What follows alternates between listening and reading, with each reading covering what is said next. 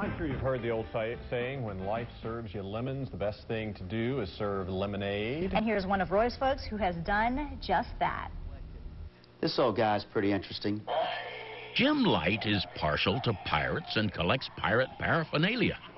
Army hearties, yes indeed. Mm, which coat shall it be today, mate? The red it will be. But Jim's not just a collector, he really is a pirate. Complete with a parrot and, yes, a peg leg. You would not believe, children and adults alike, the majority don't believe the peg leg is real. They want to know, where do you put the leg? How do you do that? It is real. Jim lost his leg in a motorcycle accident.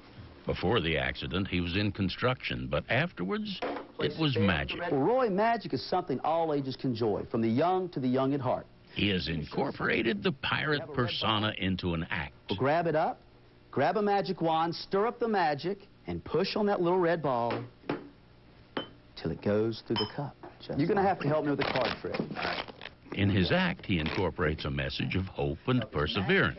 A magic message. You just got to believe. Since the tragedy of losing a leg, he discovered Captain Jim's buried treasure. yeah. I believe it's always been lurking inside of me, this pirate character.